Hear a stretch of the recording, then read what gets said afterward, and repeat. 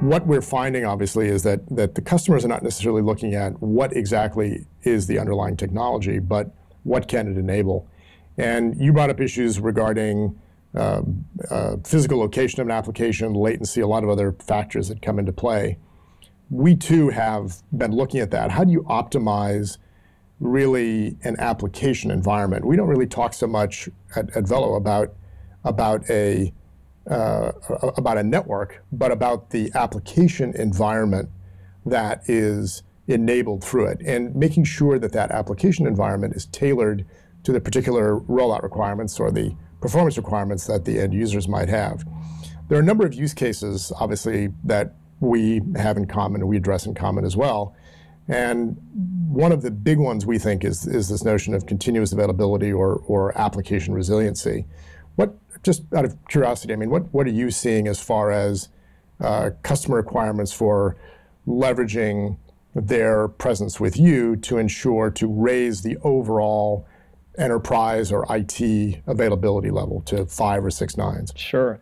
What I, what I think that does is it brings up an interesting relationship dynamic between the enterprise and the network service providers who are providing that actual transport and that network capability. I think it creates a, a much more interesting dialogue these days because now you have a well-informed enterprise um, IT group that is used to virtualization, they're used to flexibility, and they expect the same thing, quite frankly, out of network services. So what it's done is it's changed the conversation on both ends of, of that relationship. On the network side of the business, um, where predominantly Equinix originally started, which was build a huge network critical mass so that every ecosystem can tap into those data services. So if that's the foundation, how do you add more intelligence into that foundation and more flexibility? So conversations that happen between those network service providers and the enterprises are really about how quickly can you get me capacity online for specific applications,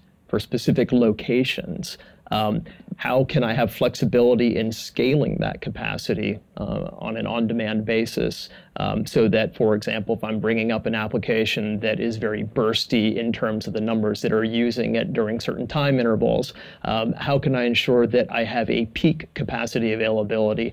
Um, and then, in addition to that, how can I actually stuff more bits into the trough component of that capacity sure. that I'm buying? So how can I set up a cron for a specific, let's say, backup as an example, um, and ensure that that particular traffic is being handled with a different priority um, and has a committed level of bandwidth available to it. So the conversations tend to be much more about how quickly can you get me this capacity up, and and quite frankly, how can I manage this in a more real-time basis? And what that's translated to is what we're starting to see now um, in terms of um, press releases and new services getting rolled out. So the example uh, would be you know, TW Telecom, for example, who has rolled out and is in the process of rolling out their Constellation service.